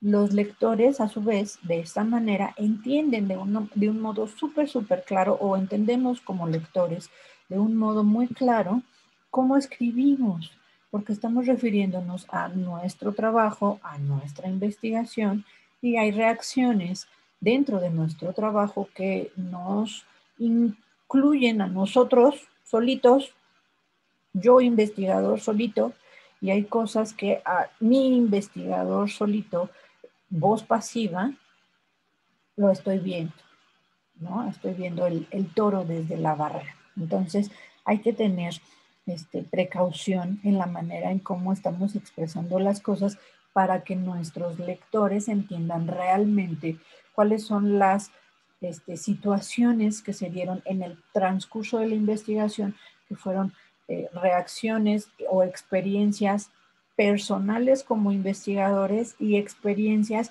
del resultado de la investigación que al yo ser eh, doctor en educación, maestro en educación, docente de grupo, por supuesto que me incluye. ¿Sale, vale? Entonces hay que tomar en cuenta esos, esos detalles para poderlo redactar adecuadamente. Y esto nos lleva a lo que en una generalidad, tanto para recordar como para agregar un poquito, lo que la universidad y APA, por supuesto, hermanado con lo que APA nos, nos puntualiza, debemos de tener bien, bien claro en nuestros trabajos. Primero, nuestro, el tamaño de la, de la hoja de las páginas es tamaño carta. De acuerdo que es 21.59 centímetros o 27.94 centímetros o lo que equivale a 8 pulgadas y media por 11 pulgadas. ¿Sale? ¿Vale? Ese es el tamaño carta. pues ya están preconfiguradas nuestros, este, nuestro software, así que en esa parte no hay tanto problema. Ahora, en caso de que no, estés, no esté configurado nuestro software, en la pestañita de diseño o en la pestañita de archivo, dependiendo de cómo, qué es lo que ustedes encuentren en sus pestañitas de su, este, de su Word, pueden encontrar la pestañita de archivo y después ahí ocupan la opción de configuración de la página y ahí es donde vienen los tamaños de las páginas. O bien en diseño, ahí le dan clic en diseño y ahí viene tamaño de páginas, le dan clic y ahí buscan el tamaño carta. Por si acaso lo tienen preconfigurado para legal o oficio, busquen el tamaño carta. ¿De acuerdísimo? Después, ¿qué tenemos aquí? Tenemos los márgenes. Estos les hago la, la aclaración y ahí vienen también en, resaltado en nevitas. Es para documentos digitales, que todos los márgenes de la hoja, los cuatro, márgenes de la hoja, sean a 2.54 centímetros. ¿De acuerdísimo? Para documentos digitales. Cuando nos solicitan que lo imprimamos, el margen izquierdo es a 3 centímetros, porque habitualmente cuando nos solicitan que lo imprimamos es para que lo encuadernemos. Entonces, esos milímetros que se le agregan al, este, a la impresión es para que en el momento que se le hace el encuadernadito, es lo que se come de la hoja y la hoja queda equilibrada. ¿Sale, vale? Después, el tipo y tamaño de la fuente. De, recordemos que hay fuentes con este, serifa y sin serifa, es decir, hay, hay fuentes que tienen, que son más eh, y hay fuentes que son más lineales. La que nos solicita la universidad es Arial 12, que es sin serifa, que es más boludita. ¿ok? No tiene terminaciones tan lineales como las llega a tener en su caso Times Roman o Georgia, que son de las otras fuentes que APA este, permite para, las, para los escritos. Ahora, si quieren ustedes compartir sus este, tesis, convertirlos en artículos científicos, les recomiendo que lo hagan en Roman, ¿ok? Porque las editoriales manejan este, mucho más el Roman. O pregunten, no nos entremos en complicaciones, pregunten cuál es la, tipografía y ya con eso ya ahí se les hace la aclaración. Ahora, en cuanto al encabezado y pie de página, aquí hay bastante flexibilidad. ¿En qué aspecto? Eh, APA nos marca que en el encabezado va el título de la, este, de la investigación y en la esquina superior derecha va el número de la página. La universidad no nos dice que coloquemos o no coloquemos el título de la, de la investigación en la parte superior o inferior, ahí es donde existe esta flexibilidad, pero si nos solicita que en la esquina superior, perdónenme, inferior derecha, es decir, en el pie de página, coloquemos el número de la página. ¿De acuerdísimo? Con la misma fuente que estamos utilizando y el mismo tamaño, que sería Arial 12. Ahora, el interlineado en todo el documento, en todo, todo el documento es 1.5. Lo que eh, este, APA maneja como estándar es dos puntos, pero también nos habla del 1.5 y del 1 y nos hace acotaciones en cuanto a las editoriales y lo que las universidades pueden solicitar. Entonces, justo hacia, hacia ese detalle, la universidad UNIEM nos solicita 1.5 en general. ¿Ok? Tomando en cuenta que este interlineado se utiliza para todo, para citas largas, citas cortas, tablas, imágenes, referencias, todo, para todo nuestro documento. ¿De acuerdo, Simón? Y eh, la alineación, sabemos que APA en una generalidad, lo comentábamos en alguna de las sesiones anteriores, en una generalidad marca que debe de estar eh, alineado a la izquierda, pero la universidad UNIEM nos solicita que nuestro texto en general esté justificado. Ojo, en general en cuanto al contenido del texto, pero aquí es donde entra un detalle importante y necesario en cuanto a los títulos y subtítulos y niveles de títulos y subtítulos que puedan ustedes llegar a utilizar en su investigación. Y aquí es donde, por eso está en puntitos suspensivos ahí ese cuadrito, porque son, les voy a poner un ejemplo. ¿Hasta ahí alguna duda? ¿No? ¿Vamos bien? Perfecto. Entonces, aquí está nuestro ejemplo de los diferentes niveles. ¿Sale, vale? Si nos damos cuenta, todo es la misma fuente y el mismo tamaño. Lo que cambia es la secuencia del contenido de mi texto. ¿Sale, vale? Entonces, nuestro, nuestro nivel 1, que es el principalísimo, es con altas y bajas, centrado, negrita. ¿Ok? Después, eso es cuando inicia el texto. Ya si le damos continuidad, si tenemos subtemas, el nivel 2, ese va perfilado a la izquierda y con negritas, ¿ok? Cada palabra inicia con mayúscula, ¿ok? Palabras, eh, digamos, conceptuales, ¿ok? No las conjunciones. Si se dan cuenta, la palabra de es con minúsculas.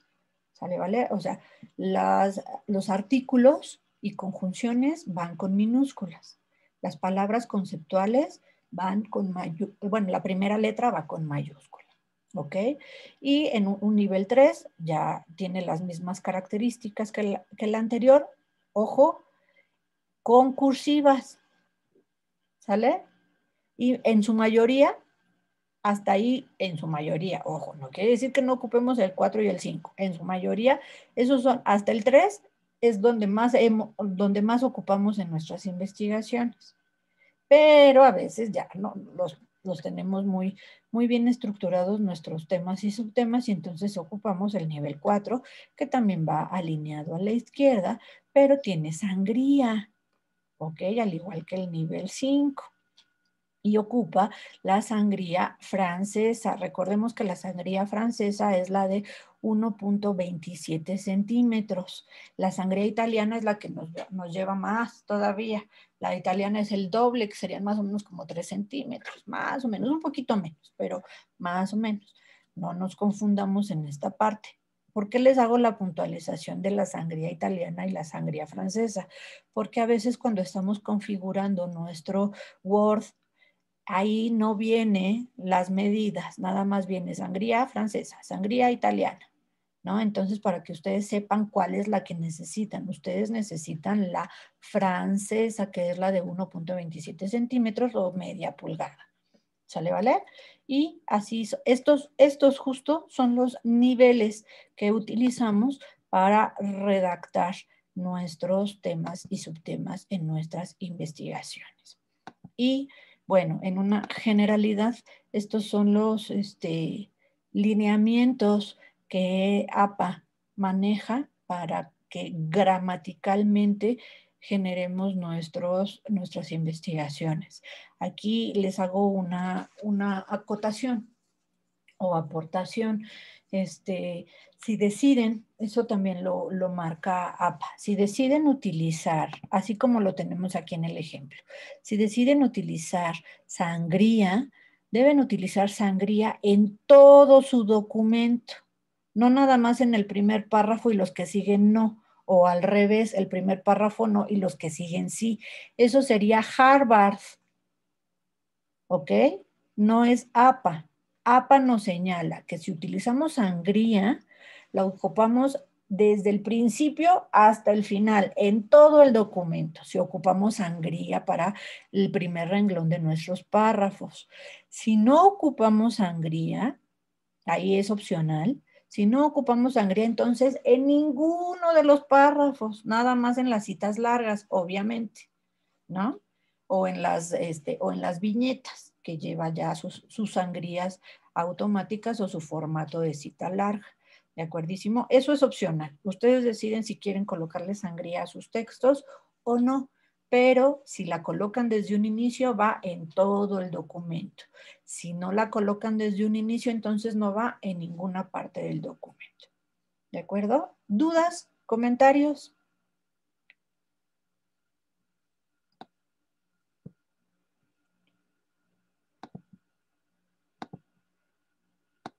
Parece que todo bien. Ahora la cosa es aplíquenlo. Ese es el pequeño gran detalle. Aplíquenlo en sus investigaciones. En nuestra referencia bibliográfica tendríamos que anotar algún manual de redacción o algún diccionario o la referencia que estamos en APA o no o se omite. La referencia de APA se omite porque ese es el, estilo que se utiliza para toda la investigación. Para las referencias, dependiendo de las fuentes de consulta o referencias bibliográficas que ustedes hayan utilizado, ustedes pueden hacer uso de libros, revistas, artículos de periódicos, tesis, páginas web, leyes o documentos legales, entrevistas, informes o reportes, archivos de PDF, libro, eh, antologías, o libros de antología, eh, diccionarios, como bien comentas, este, documentos de seminarios, congresos, simposios, conferencias que hay como tal, no tanto la conferencia. La, si utilizan, ahí está un detalle importante, si utilizan la conferencia, es decir, tienen ustedes el video o tomamos de YouTube el video de la conferencia, entonces se referencia el video de YouTube. Si ustedes tienen el documento de la conferencia como tal, entonces se referencia el documento, porque hay varios, este, justo, hay varios simposios o seminarios que hacen este compendio de las diferentes conferencias que se hacen. Hay varios de, Sudamérica que nosotros utilizamos bastantes de ellos por los autores que generan las conferencias. Entonces, justo tenemos el documento, entonces si referenciamos el documento. También podemos tener, bueno, referenciar canciones, películas, programas o series de televisión, podcast, eh, publicaciones de las diferentes aplicaciones porque hay muchas publicaciones de Instagram, hasta del mismo TikTok, ahora que hay muy, muy de moda, hacen, hacen TikToks también eh, informativos, este, Facebook, por supuesto, en, WhatsApp, eh, obtenemos información de WhatsApp, etcétera. ¿Ok? Eh, ¿Qué más? De Wikipedia, no me encanta, yo siempre recomiendo a mis alumnos cuando hacen sus investigaciones que no quiero ver nada de wiki algo, no quiero ningún wiki en sus investigaciones, pero se salvaron, compañeros. No son mis alumnos en esa parte. Entonces, pongan su wiki, nada más referencienlo correctamente. PowerPoint, Biblias o documentos religiosos, puede ser, porque no, simplemente en mis alumnos de, de lingüística eh, en el, y ahí les hago la acotación súper puntual porque si no, ahí me va en feria legalmente hablando porque ahí el artículo tercero constitucional dice que cero de estas cosas de yo hacerlos creyentes o no creyentes, ¿no? Entonces, en el Génesis, en el capítulo 11 del Génesis, si bien lo recuerdo, este, habla de la división lingüística del ser humano, de cómo se generó la, división lingüística del ser humano por todos los movimientos sociales que se estaban generando en esa época. Pero ojo, estoy citando un libro de la Biblia y estoy hablando de una situación sociocultural para la lingüística. Ojo, ¿eh? No los estoy haciendo afectos a mi creencia religiosa ni nada. Y siempre les puntualizo muy bien eso. Entonces, cuando hagamos uso de este tipo de referencias, también les recomiendo que sean muy puntuales para evitarnos cosas este, legales. ¿Sale? Y bueno, hay también situaciones que nosotros eh, eh, generamos porque hay temas que son nuevos, muy nuevos para nuestra sociedad. Entonces, son comunicaciones personales, es decir, nosotros autogeneramos la información. ¿A qué voy? A veces en los marcos contextuales o en nuestros segundos capítulos, que es el contexto de nuestra investigación, y necesitamos nosotros el antecedente histórico de las instituciones que nosotros estamos investigando, no existe le buscamos en la CEP y le buscamos en la monografía y vamos al ayuntamiento casi con el presidente municipal y no hay. Y es más, me acordé ahorita de la de Miss Amparito, que es la directora de la fíjense ¿eh? la memoria que uno tiene, la directora de la primaria donde iba. No sé si ya falleció la Miss, pero Miss Amparito. Entonces, digamos, espero mm, solo es para el ejemplo, ¿eh? espero no matarla a la, señora, que ya falleció y era la que conocía, la que sabía de ida y vuelta la historia de la escuela desde la primera piedra, ¿no? Casi, casi. Pues yo necesitaba todo eso para mi investigación y pues no hay. No hay un registro escrito.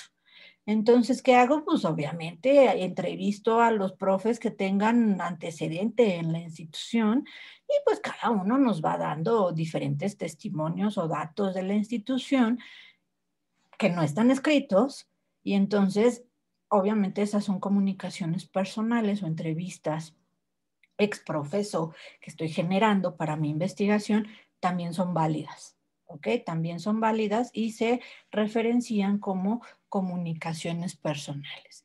No teman, la siguiente sesión hablaremos de cómo se referencia cada uno de todos estos documentos que podemos nosotros utilizar para que sepan cómo hacerlo correctamente y eh, no tengan ya este, bueno, espero que no nos quede duda al respecto.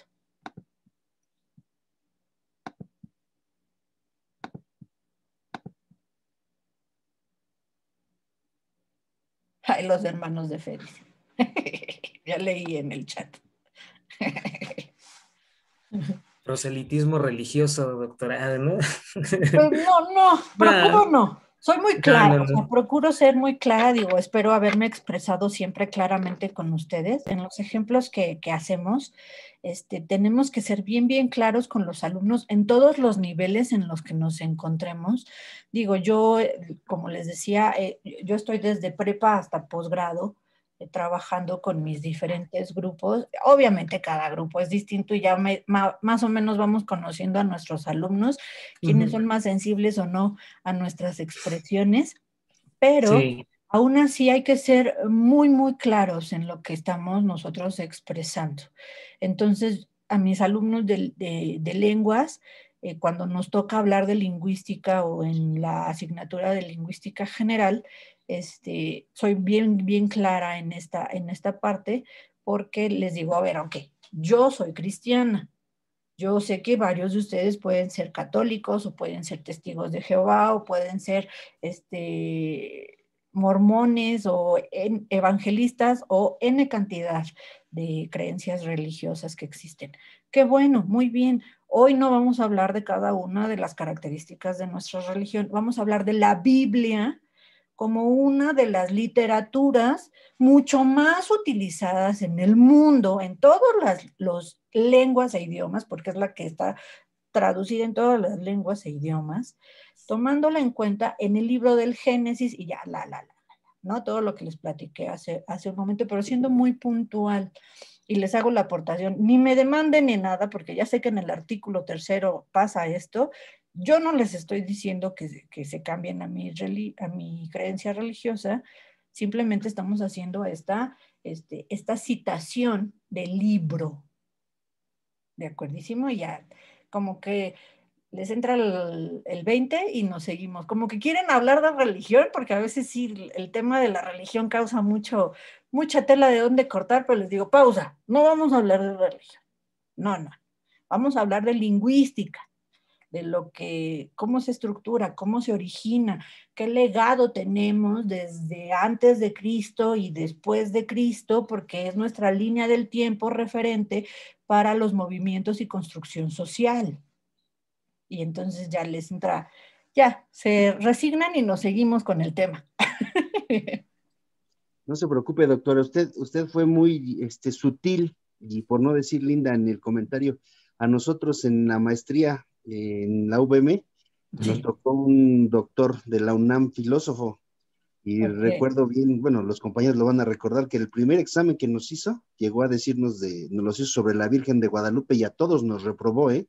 A todos nos reprobó, pero a final de cuentas, tiene usted razón, fue uno de los conocimientos que, que yo tengo muy marcados este, y sin creer cambiarnos de religión, porque pues, las creencias son, pero realmente este, las formas de pensar sí no las inculcó en cuanto a cómo la filosofía marca ciertos parámetros, pero, pero sí, este, ese doctor lo marcó, bueno, no sé mis compañeros, pero, pero la verdad es que sí, cuando llegó y que nos hizo este examen sobre la, quién era la Virgen de Guadalupe o qué significaba para los mexicanos y todo eso, y nosotros bien puntuales, según contestando nuestros diagnósticos, al final nos acabó haciendo así, pero hasta con un, pero él sí con unas formas, este, fuertes, porque era muy, hablaba muy fuerte y, ¿Dónde está el infierno también? Me acuerdo de eso. sí. Lo probó a todos, ¿eh? Sí, pero bien claro, ¿no? Es el punto de vista desde el conocimiento, lo histórico, como una fuente a la cual se dirige uno dependiendo de la investigación y podrás creer o no podrás creer, ya eso es punto y aparte, pero este, ser, eh, digamos, lo más, lo más neutral posible, ¿no? Estamos haciendo ciencia. Exacto, y, y, sí, o sea, cada, cada persona da, da parte de lo que es eh, en cuanto a los comentarios que emite pero en la cuestión de la ciencia, como usted lo dice, pues es tratar de estar lo más neutro posible, lo más neutro. No se logra al 100%, pues es una situación muy lógica, sin embargo se busca llegar a ello. Y, la verdad, como dice Juan Carlos, fue fabuloso, fue fabuloso porque a, muchos, este, pues sí nos aterrizó de golpe y dijimos, ah, caray, pero ya cuando viene el sustento teórico, dices, ah, pues sí, es cierto, ¿no? O sea, tenemos que ver las cosas desde distintas perspectivas. No, pero está padrísimo, digo, estamos haciendo ciencia, pero particularmente los filósofos tienen un tacto. Digo, no sé si también como los abogados que les enseñan a hacer así de... Pero eso se los enseñan, tal cual, me consta, que en clases se los enseñan de que debes hacer así, así, así, la ley es esto, ¿no? Entonces, en la, en la medida en cómo van construyendo el pensamiento filosófico en toda su formación en la carrera, supongo que tiene también que ver esta, esta instrucción de cómo lo vas a compartir en determinado momento, cómo estás generando también ciencia en un eh, pensamiento neutral, en un pensamiento científico, que ellos lo, lo, ven mucho desde, desde un inicio en sus formaciones, pero nosotros también tenemos que hacerlo tal cual. Y lo, de, lo delicado con nosotros son los diferentes niveles educativos en donde nos encontremos, porque no todos lo vamos a cachar de esa manera. Precisamente yo pienso que hay que tener tanto conocimiento como habilidad, porque, porque hay quienes lo quieren abordar, pero no tienen la forma de cómo, cómo aclararlo o cerrarlo, y pues ocasiona más problemas en este tema tan, tan importante para muchos jovencitos, por ejemplo, como es la religión, ¿no? Y en el aspecto, por ejemplo, a veces lo relaciono yo con lo socioemocional cuando le dicen a los maestros que, que hoy en día solucionen los problemas de los chicos y hay veces que los más pobrecitos dicen, bueno, pues no puedo yo con los míos y tengo que solucionar a los niños y los abro tanto en aspectos socioemocionales que luego no los sé cerrar, ¿no? Entonces, ¿cómo este tipo de juego eh, tiene su chiste también? Claro, por eso están nuestros compañeros psicólogos, que no nos lo dejen todo a nosotros. no, digo, a veces lo que, lo que pasa mucho como anecdotario en los, con los chicos de prepa que tienen, bueno, tienen una confusión, confusión emocional bastante interesante. Y aparte están creciendo. Y son pubertos y no son pubertos y hay muchas cosas muy interesantes. Pero a veces lo único que necesitan es que los escuches. Eso es todo. Y con eso ya se les baja un 50% todo lo que traen en su ser eso es lo que yo he aprendido en un 70% con mis alumnos. El otro 30% definitivamente tienen situaciones particulares acorde a su vida, contexto situaciones psicológicas o hasta psiquiátricas que hay que controlar y demás, pero a veces nada más con que los escuches con calmita y que le preguntes, ¿cómo estás? Está, es suficiente para ellos. Entonces, son, son detalles que, este, que sí debemos de ir como regulando con nuestros alumnos, porque este, esa es la parte humana, que me queda claro que sí debemos de implementar en nuestras clases, pero también ese punto delicado de que, ok, yo voy a hablar con mis alumnos y me voy a ver qué onda, qué onda, qué onda, y ser parte de su vida o intentarle ayudar a sus problemas y demás. Y si son problemas que se nos van de las manos y que no sabemos, como dice Juan Carlos, o controlar o cerrar o nosotros cómo vamos a aconsejar a los alumnos, pues está bastante este, delicado que nos tomemos esas atribuciones.